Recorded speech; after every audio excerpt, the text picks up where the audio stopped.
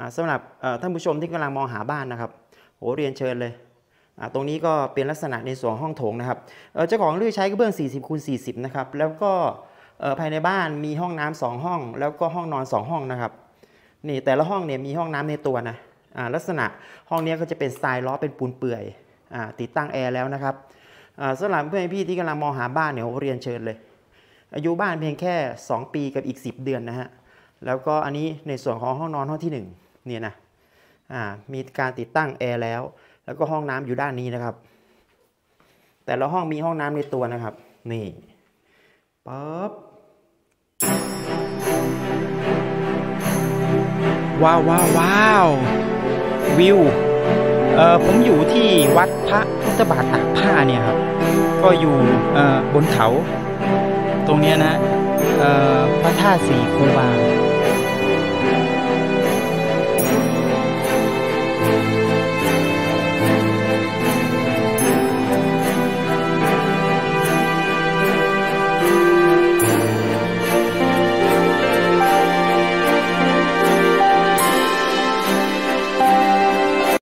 สวัสดีทุกทุกท่านครับผมสวัสดีท่านผู้ชมทุกทุกท่านเลยนะครับ อากาศยามเช้าเมื่อเช้าตื่นมา 19 องศา อากาศยังคงเย็นอยู่ครับ ก็ดูแลรักษาสุขภาพด้วยครับผมทุกทุกท่านเลยเออวันนี้ผมพาเพื่อนๆพี่ๆเนี่ยมาชมบ้านนะครับนี่นะอยู่ตรงขวามือนี่ดูกำแพงรั้วดิครับโอ้โหสวยสดงดงามอย่างสวยอะเออเนื้อที่ของบ้านหลังนี้นะครับอ่าทั้งหมด 1 ไร่กับอีก 229 ตารางวาน่ะ นี่นะแล้วก็ในส่วนของอแนวรั้ว่าแนวเขตแนวเขตตั้งแต่ตรงนี้เลยนะนี่แนวเขตตั้งแต่ตรงนี้เลยนะครับ นี่นะตรงนี้มีเพื่อนบ้านนะตั้งแต่ตรงนี้เลยนะครับ ยาวไปเลยครับเมื่อกี้นี้ผมออลองวัดดูแล้วนะครับ ยอมรับว่าเนื้อที่หน้าบ้านโอ้โหเยอะมากครับ ความกว้างเนี่ยนะฮะอยู่ที่ 43 เมตรนะฮะพระอาทิตย์อยู่ตรงนี้นะ อ่ามันจะมืดนิดนึงนะครับ แล้วก็ตรงนี้เป็นเพื่อนบ้าน อันนี้ก็กำลังสร้างเลย บ้านหลังใหญ่ๆโตๆเลยนะเนี่ยดูเดโอ้โห นี่เดี๋ยวผมจะพาเดินไปจนสุดในส่วนของเอ่อหน้าแปลงที่ดินเนี่ยนะฮะส่วนด้านนี้เป็นประตูทางเข้านะเป็นประตูรูดปิดเปิดเนี่ยนะ ยอมรับกว้างมากครับเจ้าของมีความประสงค์ที่ต้องการจะขายเนื่องจากว่าเจ้าของมีบ้านอยู่ที่เชียงใหม่อีกหนึ่งหลังนะครับ ไม่ค่อยมีเวลาดูแลนะแล้วก็ในส่วนของบ้านเนี่ยอายุเพียงแค่ 2 ปี 10 เดือนเอง นี่กำแพงรั้วดำๆเนี่ยนะฮะนี่มาถึงตรงนี้นะนี่ถึงตรงนี้อ่าตรงนี้ก็เป็นในส่วนของสวนลำไยเพื่อนบ้าน เนี่ยลำไยออกแล้วเนี่ยโอ้โหสุดยอดเลย เห็นไหมป๊าบอ่าแล้วก็ส่วนตรงนี้ ตรงนี้มันจะเป็นคลองอชมประทานคือถ้าเกษตรกรต้องการจะเปิดน้ำเนี่ยก็รู้สึกว่าเสียหน่วยละ 5 บาทนะก็ไปเปิดเองเลยเนี่ยนะด้านหน้าโอ้บริเวณรั้วรอบขอบชิดชัดเจนนะครับนี่โอ้สำหรับท่านที่กินกลางมาหาผมเนี่ยยอมรับว่าโหเยอะนะฮะหลายท่านมากๆเลยต้องการบ้านสวนมีบริเวณส่วนตัวไม่เปี่ยวแล้วก็อยู่ สงบไม่มีเสียงอือทึกคือโคมเนี่ยโหเรียนเชิญนะพิกัดบ้านหลังนี้อยู่ที่ตำบลน้ำดิบอำเภอป่าซางจังหวัดลำพูนนะฮะมาดูถนนหน้าบ้านหน่อย กว้างอยู่ที่4เมตร40นะครับ นี่นะ4เมตร40โอ้โห ยอมรับอากาศดีฮะเช้านี้โอ้โหดีสุดยอดเลย มีเพื่อนบ้านอันนี้เราวิ่งไปเนี่ยก็มีเพื่อนบ้านนะครับ วิ่งเลยขึ้นไปเนี่ยนะส่วนใหญ่แล้วเกษตรกรแถวนี้เขาจะปลูกลำไยเป็นหลักอยู่แล้ว ในส่วนของลำพูนเนี่ยนะฮะทีนี้เรามาดูในส่วนของ ประตูรูดปิดเปิดเนี่ยนะฮะสี่เมตร70ครับผม กว้างๆกันไปเลยเนี่ยนะประตูรูดปิดเปิดเนี่ยนะฮะสี่เมตร70นะโอ้ยังกว้างนะแล้วก็ด้านในอะสังเกตดู ลักษณะบ้านนั้นเป็นบ้าน modern นะครับ นี่นะเพิงหมาแหงน สีที่ลูกค้าเลือกใช้เนี่ยเป็นสีเทานะฮะตัดกับสีขาวนะแล้วด้านข้างเนี่ยที่เป็นหน้าต่างเนี่ยมันจะเป็นขอบบัวอ่าเพื่อจะดึงจุดสนใจก็คือเป็นแนวสายตาเนี่ยฮะมองเข้าไปก็จะเห็นในส่วนของประตูแล้วก็หน้าต่างเนี่ยนะฮะเห็นไหมบัวสีขาวเนี่ยนะด้านข้างนี่สวยสดงดงามเออภายในบ้านนั้นประกอบไปด้วย 2 ห้องนอน 2 ห้องน้ำนะครับ แล้วก็ห้องครัวอยู่ด้านหลังนะ แล้วก็จะมีห้องน้ำด้านนอกอีก 1 ห้องนะครับ แล้วภายในบริเวณอะผมได้สอบถามจากเจ้าของทรัพย์ว่าลำไยมีกี่ต้นนี่นะที่เห็นเนี่ยนะมีการตัดแต่งกิ่งแล้วลำไยทั้งหมด 10 ต้นนะมีผลไม้ไว้บริโภคเนี่ยนะครับโอ้ยอมรับว่าเนื้อที่เยอะฮะเยอะมากๆเลย ส่วนตรงนี้ก็จะเป็นในส่วนของต้นสักเนี่ยนะฮะนี่ก็ตามที่แจ้งเนาะเจ้าของทรัพย์มีความประสงค์ที่ต้องการจะขายเนื่องจากว่าไม่มีเวลาดูแลนะครับ นี่นะสำหรับท่านผู้ชมที่กำลังมองหาบ้านเนี่ยโหเรียนเชิญเลย แล้วด้านหลังเนี่ยจะมีดาดฟ้าด้วยนะโหแขกไปใครมาก็นั่งจิบน้ำมะตูมเย็นๆอยู่ด้านบนเนี่ยนะฮะโอ้ผมถือว่าเยี่ยมมากๆเลยนะแล้วก็มีพืชผักสวนครัวด้านหลังเนี่ยนะคลิปนี้อาจจะยาวสักนิดนึง แต่ผมเชื่อว่าจะเป็นประโยชน์นะครับสำหรับผู้ที่จะเข้ามาชมทรัพย์ในส่วนของช่องนาวัดนะครับ มีบริเวณรั้วรอบขอบชิดนะครับ ชัดเจนนะครับ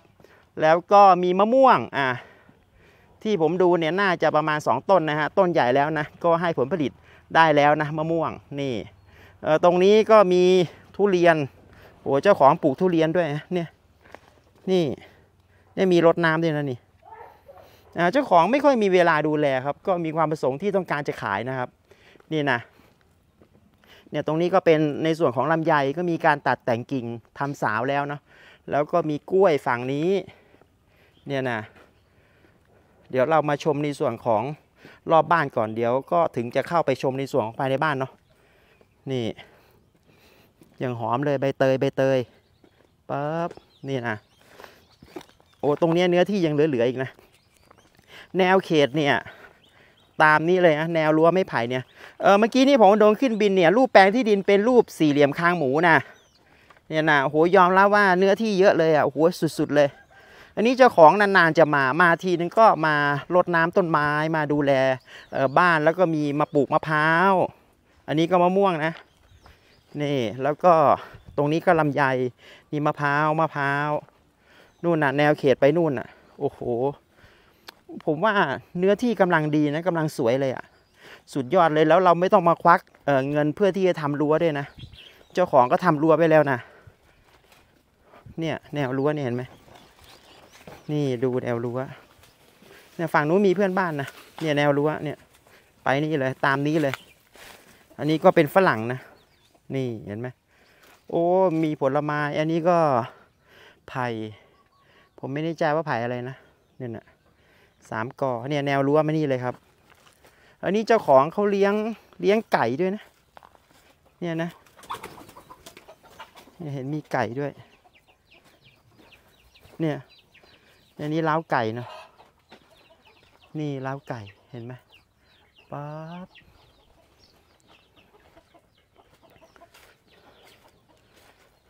เดินชมบริเวณรอบบ้านก่อนครับ ผมเนี่ยนะนี่อันนี้ก็มะนาวนี่เออบางอย่างเรามาปลูกเสริมเอาก็ได้ครับ ภายในแปลงที่ดินเนาะแล้วก็ตรงเนี้ยเออบักทันเนี่ยนะนี่ เพื่อนๆรู้จักบักทันไหมบักทันก็พุทรานี่แหละครับผมเนี่ยนะนี่นี่ต้นหนึ่งนี่ต้นหนึ่งเนี่ยมันโตขนาดนี้มันก็สามารถให้ผลผลิตได้แล้วนะคือ หมายว่าเราดูแลดีๆหน่อย ปุ๋ยก็เป็นปุ๋ยขี้ไก่ปุ๋ยขี้วัวเนี่ยแหละครับ เนี่ยนะเออนี่นะเห็นไหมโอ้โห สุดยอดไหมครับตรงนี้ก็เป็นในส่วนของบ้านแล้ว อันนี้ก็ตะไคร้อยู่นี่นะโอ้เนื้อที่กำลังดีสวยๆเลยหนึ่งไร่กับอีก 229 ตารางวา นี่ตะไคร้เห็นไหม ตรงนี้ก็เป็นบ่อขยะเนี่ยนะมีขยะก็มาเผาตรงนี้ได้เลยเนี่ยนะที่นี่การเผาเนี่ยท่านผู้ชมต้องฟังด้วยนะว่าช่วงไหนก็เผาได้ช่วงไหนเผาไม่ได้นะนี่แล้วก็นี่เจ้าของก็มารดน้ำแล้วนี่ นี่มะนาวเห็นไหมเจ้าของมีความประสงค์ที่ต้องการจะขายเพราะว่ามีบ้านอยู่ที่เชียงใหม่อีกหนึ่งหลังนะเนี่ยมะนาว อันนี้น่าจะเป็นมะนาวทูลเก้าป่ะไม่รู้เนี่ยนะ เเดี๋ยวผมต้องดูลูกมันลูกมันใหญ่ๆ ส่วนมากจะเป็นมะนาวเออมันจะไม่มีเม็ดอะเนี่ยนะลูกใหญ่ๆเนี่ยส่วนมากจะเป็นมะนาวทูลเกล้ามากกว่า แล้วก็ตรงนู้นก็มะนาวนะนี่ก็กล้วยนะ มีแนวรั้วชัดเจนนะโอ้โห มีขนุนด้วยป๊าดเป็นไงครับ มีผลไม้ผลไม้ไว้บริโภค โอ้โห อาจจะมาปลูกเพิ่มนิดหน่อย เนี่ยตรงนี้เป็นดาดฟ้าเห็นไหม เพื่อนบ้านมาแขกไปใครมาก็เนี่ยนั่งจิบน้ำมะตูมเย็นๆด้านบนเนี่ยนะโอ้โหสุดยอดมากเลย หรือถ้าเกิดเป็นช่วงหน้าหนาวเนี่ยเอาเต็นท์ไปกลางด้านบนเนี่ยนะแล้วก็ตรงนี้ก็เป็นห้องน้ำนอกบ้านนะเนี่ยนะนี่มีถังกองน้ำด้วยเนี่ยนะเนี่ยมีถังกองน้ำด้วยนะ มีถังกองน้ำแล้วก็มีถังเก็บน้ำอันนี้เครื่องปั๊มเนี่ยต่อแล้วนะ เนี่ยเครื่องปั๊มเห็นไหมปั๊บอันนี้แนวเขตเรานะครับเนี่ยโอ้โหถูกใจไหมครับ ถูกใจยกหูเลย เดี๋ยว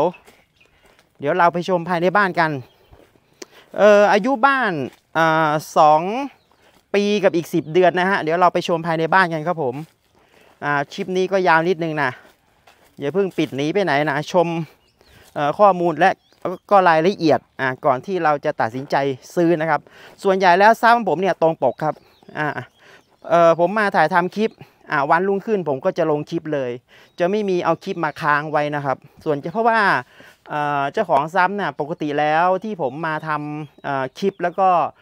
ขายพวกที่ดินไม่ว่าจะเป็นบ้านหรือสวนเนี่ยเจ้าของทรัพย์เขาก็อยากจะเห็นคลิป เพราะฉะนั้นพอผมทำคลิปเสร็จรุ่งขึ้นผมลงคลิปให้เลย นี่ นี่บริเวณหน้าบ้านนะ มาทีนี้เราเข้าไปชมในส่วนของภายในกัน ส่วนด้านนี้นะครับ เจ้าของก็ทำเป็นที่จอดรถนะเนี่ยนะมีประตูด้วยเห็นไหมเออมีฝั่งนี้แล้วก็ฝั่งนู้นโอ้ถือว่าดีนะดีมาก ๆ เลย ส่วนด้านข้างอ่าเมื่อกี้ที่ผมบอกว่าเป็นบัวเนี่ยเนี่ยขอบขาวๆเนี่ยนะฮะก็จะเป็นดึงจุดดึงดูดสายตาเนี่ยประมาณนี้เนี่ยนะครับดูดิสีขาวกับเทาเนี่ย เป็นสียอดฮิตเลยนะนี่นะโอ้โหสวยสดงดงาม โอเค เดี๋ยวเราเข้าไปชมในส่วนของภายในบ้านกันนี่นะลักษณะบ้านเป็นบ้านโมเดิร์นเพิงหมาแงนเนี่ยนะฮะด้านหน้ากระเบื้อง 40คูณ40 นะครับ กระเบื้องเนี่ยนะอ่าส่วนอ่า เนื้อที่ใช้สอยอ่าผมวัดในส่วนของตัวบ้านนะ ตั้งแต่ตรงนี้นะครับ ยาวไปตรงนี้นะอ่าไม่รวมที่จอดรถนะครับ ผมเอาตัวบ้านอย่างเดียวเลย นี่ถึงตรงนี้นะครับ ตรงนี้ก็จะเป็นที่จอดรถเนี่ยเจ้าของก็ทำไว้ดีดีมากๆเลยเห็นไหมเอ่อเนื้อที่ใช้สอยของบ้านหลังนี้อยู่ที่ 141 ตารางเมตรนะครับ นี่นะด้านหน้าติดไฟกิ่งนี่นะสามดวงตรงนี้แล้วก็ตรงนี้เป็นกล้องวงจรปิดนะเนี่ยติดตั้งกล้องวงจรปิดด้วยเห็นปะ โอ้หลายตังเลยนะ พูดถึงนี่โอเค ลักษณะประตูเป็นประตูบานสไลด์นะครับนี่นะแล้วก็ด้านในกระเบื้องเป็นกระเบื้อง 40คูณ40 นะครับนี่นะเป็นลายไม้นะฮะเออในส่วนของตรงนี้นะครับผมวัดดูแล้วตรงนี้เป็นห้องโถงนะครับเออในส่วนของห้องโถงเนี่ย3.9คูณ10.5 เมตรนะครับ3.9 จากฝั่งนี้นะครับ มาชนกำแพงฝั่งนี้นะ3.9 10.5 จากฝั่งตรงนี้นะฮะนี่ตรงนี้เลย ไปชนกำแพงด้านหลังเนี่ยนะฮะ10.5 เมตรครับผม โอ้โห อย่างกว้างเลยสุดยอดไหม แล้วก็ด้านบนเป็นฝ้าหลุมนะฮะ ด้านบนเป็นฝ้าหลุม อ่า แล้วก็มีติดตั้งไฟดาวไลท์ นี่ เนี่ย เดี๋ยวให้ผู้ชม อ่า ชมกันชัดๆนี่ยจะมีไฟสลับเปา แล้วก็มีฝ้าหลุม เนี่ยนะ แล้วก็มีไฟดาวไลท์ อ่า ในแต่ละจุดสีดวง นี่ ก็จะมานี้ โอเค ทีนี้เรามาชมในส่วนของ ห้องนอน ส่วนตรงนี้จะเป็นตู้คอน sumer นะครับ เป็นตู้ควบคุมไฟนะครับ ด้านนี้นะ นี่ตู้คอน sumer ด้านนี้เลย เออในส่วนของห้องนอนอะทีนี้เรามาชม เออในส่วนห้องนอน 2 ห้องเนี่ยติดตั้งแอร์แล้วนะครับ เรียบร้อยนะครับเออขนาดของห้องนอนอะเรามาดูห้องนอนห้องที่ 1 นะครับ 3.8คูณ4เมตรนะครับ นี่กระเบื้องก็ยังเป็นกระเบื้อง 40คูณ40 เป็นลายไม้นะครับ นี่นะนี่ติดตั้งแอร์แล้วนะครับ เรียบร้อย ตรงนี้ก็จะเป็นในส่วนของตู้เสื้อผ้าเนี่ยนะครับ นี่นะปึ๊บเออขนาดเตียงเนี่ยน่าจะ 5 ฟุตนะครับ ขนาดเตียงนี่ 5 ฟุต นี่นะ โทนเป็นออกเป็นโทนสีชมพูเนี่ยนะฮะนี่ แล้วก็ถัดมาตรงนี้มีห้องน้ำเออห้องน้ำ2คูณ2.4 เมตร นี่ลักษณะก็คือเป็นปูนเปื่อยเป็นลอฟเนี่ยนะฮะนี่กระเบื้องเป็น 40คูณ40 นะครับ เป็นกระเบื้องชนิดหยาบ เวลาเราเดินแล้วมันไม่ลื่นนะนี่ ตรงนี้ก็ติดตั้งมุ้งลวดการยุงกันแมลงนะฮะนี่นะแล้วก็มีการติดตั้งบล็อกแก้วด้านบนเห็นไหมนี่อ่างล้างหน้าชักโครกนี่ก็จะประมาณนี้นะครับ ในส่วนของห้องน้ำอของห้องนอนห้องที่หนึ่งนะครับ นี่ก็จะประมาณนี้ทีนี้ถัดมาเรามาชมในส่วนของห้องนอนห้องที่สอง นี่ห้องนอนห้องที่สองฝั่งนี้ห้องนอนห้องที่สอง3.9คูณ4เมตรนะครับ นี่เข้าไปเลยครับ3.9คูณ4เมตร นี่มาชมในส่วนห้องนอนห้องที่สองเนี่ยเป็นล้อเป็นปูนเปื่อยเคลือบเคลือบเงาแล้วนะครับ นี่นะนี่ใครชอบสไตล์นี้เรียนเชิญ ลักษณะเตียงเนี่ยเอ่ออันนี้น่าจะ 6 ฟุตนะครับ นี่นะแล้วก็ติดตั้งแอร์แล้วเรียบร้อยด้านบน อ่าแล้วก็ในส่วนของห้องน้ำของห้องนอนห้องที่ 2 นะครับ 1.8คูณ2เมตร นี่ห้องน้ำอ่างล้างหน้าแล้วก็ชักโครกนะครับ ในส่วนของกระเบื้อง 40คูณ40 ชนิดหยาบครับผมนี่นะอ่าเรียบร้อยโอเค ทีนี้เราไปชมในส่วนของห้องครัวอ่าห้องครัวนี่อย่างกว้างเลยครับ ห้องครัว ห้องครัว4คูณ8เมตรนะครับ นี่นะ อ่าก็จะเป็นปูนเปื่อยเนี่ยครับ เดี๋ยวเปิดไฟนิดนึงครับ นี่เป็นโต๊ะรับประทานอาหารนะฝั่งนี้ปึ๊บเดี๋ยวเปิดไฟ นี่ ความสูงเออเมื่อกี้นี่ผมลืม ความสูงอยู่ที่2เมตร70 นะครับ ความสูงจากพื้นเนี่ยนะฮะความสูงจากพื้นขึ้นด้านบน2เมตร70 นะครับ นี่นะอ่าส่วนฝั่งนี้ความสูง2เมตร80 จากพื้นนี่นะฮะขึ้นด้านบน2เมตร80 แล้วก็กระเบื้องในส่วนของห้องครัวเป็นกระเบื้องแกรนิโต้นะครับ60คูณ60 นะครับ นี่นะโอ้อย่างกว้างเลย4คูณ8เมตร 8 เมตรจากฝั่งนี้นะครับ ไปชนอีกฝั่งหนึ่งนะครับ 8 เมตร 4 เมตรจากกำแพงเนี่ยนะฮะมาชนตรงนี้นะฮะ4เมตร แล้วก็ตรงนี้ไว้ล้างจานเนี่ยนะฮะนี่เป็นอ่างล้างจาน ประมาณนี้ในส่วนของเตาแก๊สแล้วก็พวกเครื่องปรุงในการทำอาหารอยู่ฝั่งนี้เลย นี่เจ้าของเขาเใช้เตาแก๊สนะครับ นี่แก๊สอยู่นี่แล้วก็วางนี่เลยนะ นี่ก็จะประมาณนี้นะนี่นะครับโหอย่างกว้างครับเป็นไงครับ ถูกอกถูกใจไหมครับ ถูกอกถูกใจยกหูนะ อ่าทีนี้เราเดินออกมาเนี่ยตรงนี้ก็ออกได้นะครับ ฝั่งนู้นก็ออกได้นะนี่เดินออกมาเออตรงนี้เป็นห้องน้ำนอกบ้านอ่าบางทีเราเอ่อทำสวนด้านนอกเนาะเราก็สามารถมาเข้าห้องน้ำด้านนอกได้เลยโอ้ถือว่าเยี่ยมมากๆเลย ส่วนห้องนี้เป็นห้องเก็บของอ่าเมื่อกี้นี้เออเจ้าของก็ถามว่าเออจะวัดไหมผมบอกไม่เป็นไรครับ เราก็ชี้แจงว่าตรงนี้เป็นห้องเก็บของ เนี่ยนะตรงนี้เขาก็ล็อกไว้นะ พวกอุปกรณ์เครื่องมือช่างเนี่ยแหละครับ แล้วในส่วนของห้องน้ำด้านนอกนะครับ เราดูนิดหนึ่งนี่แยกส่วนเปียกส่วนแห้งด้วยนะ ห้องน้ำด้านนอก 2.3คูณ1.9 เมตร 1.9 จากฝั่งนี้มานี่นะครับ 2.3 จากฝั่งนู้นนะครับ มาชนนี่นะครับ 2.3 กระเบื้องก็เป็นชนิดหยาบนี่นะเวลาอ่ามันโดนน้ำแล้วมันไม่ลื่นอ่ามันก็ไม่เป็นอันตรายกับเราไงเนี่ยนะฮะนี่ก็จะประมาณนี้นะครับ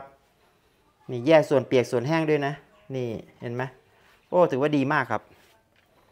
นี่ แล้วก็ตรงนี้ก็เป็นที่จอดรถถ้าไม่จอดรถก็ไว้เก็บของได้นะครับ เนี่ยนะโอ้เจ้าของก็ทำไว้ดีมากๆเลยเออสามจุดเก้าคูณสิบจุดแปดเมตรอะเนี่ยความกว้างเนี่ยนะจากฝั่งนี้มาชนเนี่ยสามจุดเก้า สิบจุดแปดจากด้านหน้าเนี่ยนะมาถึงตรงนี้นะครับสิบจุดแปดเมตรนี่นะเนี่ยด้านบนก็จะเป็นเมทัลชีตนะครับเป็นโครงเหล็กนะแล้วก็ตรงนี้ก็จะเป็นคอมแอร์เนี่ยนะฮะเนี่ยคอมแอร์สองตัวเห็นไหมโอ้โหถือว่าดีมากเลยเนี่ยนะแล้วมีบ้านม่านด้วยนะนี่โอ้ดีมากครับ โอเค เดี๋ยวเราเอ่อไปชมในส่วนของดาดฟ้าอ่าที่นี่มีดาดฟ้าตามที่ผมแจ้งเนาะแขกไปใครมาเนี่ยโหเรียนเชิญเลย นั่งจิบน้ำมะตูมเย็นๆด้านบนเนี่ยนะฮะนี่ตรงนี้ก็เป็นที่จอดรถตามที่ผมแจ้งนะ จากฝั่งนี้มานี่ 3.9 จากด้านหน้ามาถึงตรงนี้นะฮะ 10.8 เมตรเนี่ยนะด้านบนก็เป็นเมทัลชีตโอ้ถือว่าดีฮะดีมากๆเลยเนี่ยนะปั๊บอ่าทีนี้เราขึ้นไปด้านบน เราไปชมดาดฟ้ากันเนี่ยแนวรั้วเราเห็นไหมครับปึ๊บ ไปนู่นเลยนะ ตรงนู้นเป็นเพื่อนบ้านนะ โอ้แนวรั้วเออลำไยตัดแต่งกิ่งทำสาวแล้ว เราก็เพียงแค่ว่ามาให้น้ำให้ปุ๋ยเนี่ยโอ้โหได้ได้กินแน่นอนเลย ผลผลิตเนี่ยผลไม้ก็เยอะเห็นไหมเราอาจจะมาปลูกเสริมก็ได้นะเนี่ยนะโอ้ถือว่าดีมากเลยมะละกอก็มีนะครับ นี่นี่เราขึ้นมาปุ๊บนี่ด้านบนเป็นดาดฟ้าเป็นไงครับโอ้ช่วงหน้าหนาวมากางเต็นท์ด้านบนเนี่ย เป็นไงครับสุดยอดไหมโอ้โห นี่ ตรงนู้นเพื่อนบ้านนะกำลังทำอยู่นะ หลังใหญ่ๆเลย นี่ สวยงามไหมครับ เออราคาเจ้าของเปิดไว้ที่ 2.3 ล้านนะครับ ราคา เนี่ยนี้เป็นแปลงเพื่อนบ้านนี่ โอ้ลำไยติดทุกต้นเลยอะเพื่อนบ้านเนี่ยนะ เนี่ยลำไยติดทุกต้นเลย โอ้โหดีงามเลยนี่นะ นี่ โอ้สำหรับเออท่านผู้ชม สำหรับท่านผู้ชมที่กำลังมองหานะครับบ้านสวนพร้อมที่ดินเนี่ยก็ลองมาชมแปลงนี้ดูก่อนนะครับเเพราะว่าอายุบ้านเพียงแค่ 2 ปี 10 เดือน สาเหตุในการขายเจ้าของมีบ้านที่เชียงใหม่อีกหนึ่งหลังนะครับแล้วก็ผมก็ได้มีการพูดคุยกับเจ้าของทรัพย์ว่าในส่วนของผมเนี่ยคุณลูกค้าที่มีความสนใจในส่วนของบ้านสวนเนี่ยโหเยอะมาก แล้วเเมื่อวานนี้ก็มีการพูดคุยแล้วก็ติดต่อวันนี้ผมก็รีบมาเลย อ่าโอเคนะครับผม นี่สวยๆอีกหลัง นี่ปึ๊บอ่าสำหรับท่านผู้ชมอ่าที่ต้องการจะชมบ้านนะครับ